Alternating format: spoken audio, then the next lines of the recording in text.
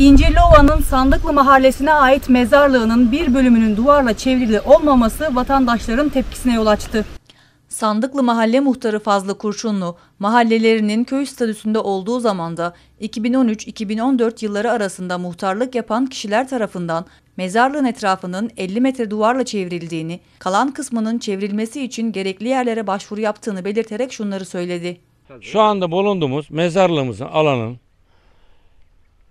doğusu, kuzeyi, bulunduğumuz şu anda hali hazırda mezarlığımızın alanı köyken duvarlarla çevirttirdik etrafına. Şu anda yeni alınan mezarlığımızın tapısının 2014'ten sonra alınan tapuların büyükşehir geçtiğinden dolayı hala mezarlıkların etrafı açık. Büyükşehir Belediyesi'nden mezarlığın etrafının çevrilmesini istiyoruz. 8 kurumu bir ara getirerek Milli Emlak'tan tapuları alınmıştır. Büyükşehir'e devre olmuştur. Biz de Sayın Büyükşehir Belediye'mize Barış Başkan'a sunduk. imar istimelatı sunduk. Fen işlerini söyledik. Ama bugüne kadar bir çevrilmedi. Çünkü içeride hayvanlar, köpekler ve artı insanlar moloz atıyor.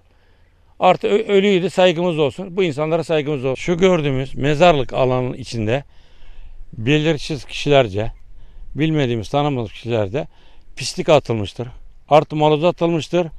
Bizim mezarlığı gelince görünce sabah namazdan sonra geldim. Gündüz de cenaze olduğundan dolayı gelip bu alandaki pisliği yaktım.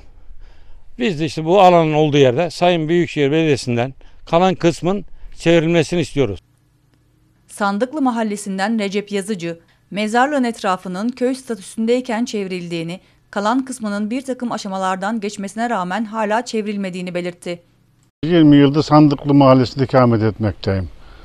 Bu mezarlığımız daha önce köy statüsündeyken muhtarımızın dediği gibi çevrildi. Kalan kısmı bir takım aşamalara geçildi. Halen de bir sorun çözülemedi. Diğer kısmında çevrilmesini hayvanlardan, köpekler mezarları deşiyor zaman zaman sıkıntı oluyor, göçüyor. Çevrilmesi hususunu yetkililerden arz ediyoruz.